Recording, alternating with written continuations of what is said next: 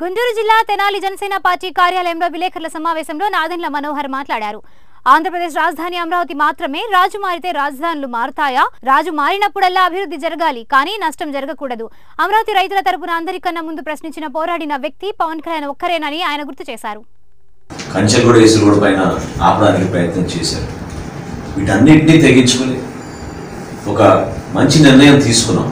ఆంధ్రప్రదేశ్కి రాజధాని ఉండాల్సిందే మన అమరావతిలో అనేది. పార్టీ పరంగా మా పార్టీ శ్రేణులు అందరితో కూడా నాయకులతో చర్చించి మా పార్టీ అధ్యక్షులు ఆ రోజు ఆ నిర్ణయం తీసుకున్న తర్వాత ఎవరు ఎన్ని మాట్లాడినా ఎన్ని అపోహలు సృష్టించడానికి ప్రయత్నం చేసినా జనసేన పార్టీ మాత్రం అమరావతి రైతులకి న్యాయం జరగాలి ఈ ప్రాంతంలోనే మనకి రాజధాని రావాలి అనేది చాలా స్పష్టంగా ఒక నిర్ణయం తీసుకుని ముందుకెళ్తా ఉన్నాం. గతంలో న్యాయస్థానం నుంచి దేవస్థానం అనే ప్రయాణం ప్రస్థానం వాళ్ళు చేసినప్పుడు కూడా అన్ని జిల్లాల్లో మా పార్టీ నాయకుల్ని ఆ యాత్రకి సంఘీభావం తెలపమని అండగా నిలబడమని ఆ రోజు కూడా మా పార్టీ అధ్యక్షుడు పవన్ కళ్యాణ్ గారు నిర్ణయించారు.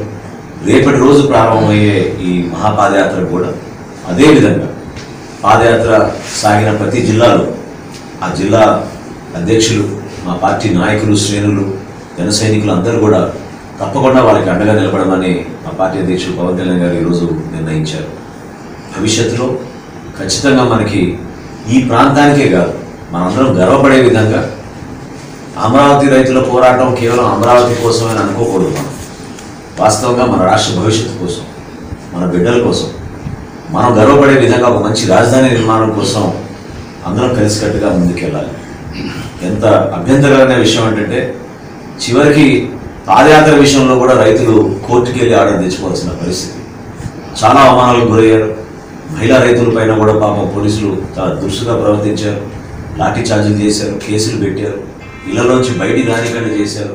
ముఖ్యమంత్రి గారు ఆ ప్రాంతాల్లో వెళ్తున్నారంటే పరదాలు కట్టారు.